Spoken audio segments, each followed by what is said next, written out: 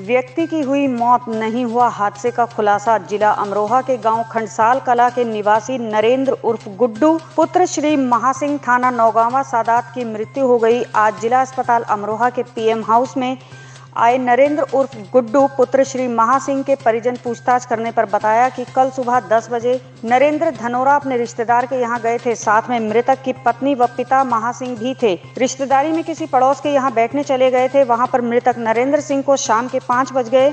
शाम के समय जब मृतक की पत्नी ने मालूम किया कि मेरे पति कहाँ हैं तो रिश्तेदारों ने कहा कि हमें पता नहीं यह सब सुनकर मृतक की पत्नी ने रिश्तेदारों को साथ लेकर मृतक की तलाश शुरू कर दी। तलाश करने पर नरेंद्र उर्फ़ गुड्डू अपने ही रिश्तेदार के घर से कुछ दूरी पर रात के 9 बजे मृत पाए गए। पति को मृत देखकर पत्नी के होश उड़ गए। हादसे की सूचना थाना नौगावा सादात पुलिस को दी। मौके पर पहुँची पुलिस ने शव को कब्जे में लिया और पीएम के लिए जिला अस्पताल अमरोहा में भेज दिया। अस्पताल में परिजनों ने बताया कि मृतक के गले पर रस्सी के निशान थे और पुलिस ने अभी हादसे का खुलासा नहीं किया है। क्या नाम है आपका? मेरा नाम विजय सिंह है। आप कहाँ के रहने वाले हैं? घनसाल के रहने ये बताइए जो मृत्यु हुई है कैसे हुई है? इनका क्या नाम था? जिनका नाम नरेंद्र सिंह है और इनके पापा का नाम महासिंह है। और खनसाल कला के रहने वाले हैं? थाना कौन सा पड़ता? हमारा नवावा सादात। कैसे हुआ मतलब ये सुबह घर से दस बजे अपने साडू के यहाँ घर गए थे। कहाँ पर? पत्नी और इनके पापा साथ में थे। कहाँ गए थे? मतलब साडू अपने साडू के धनौरा।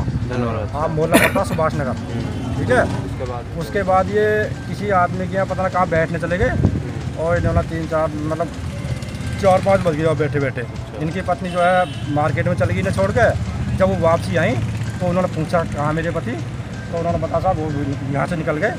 लेकिन उसके बाद आठ बजे तक इन्होंने ढूंढा नौ बजे तक ढूंढा नहीं मिले। लेकिन उनके साडू के गेट के पास में जो है ये मृत अवस्था मिले तो लेकिन मतलब क्या किस तरह के कोई चोट के वगैरह चोट?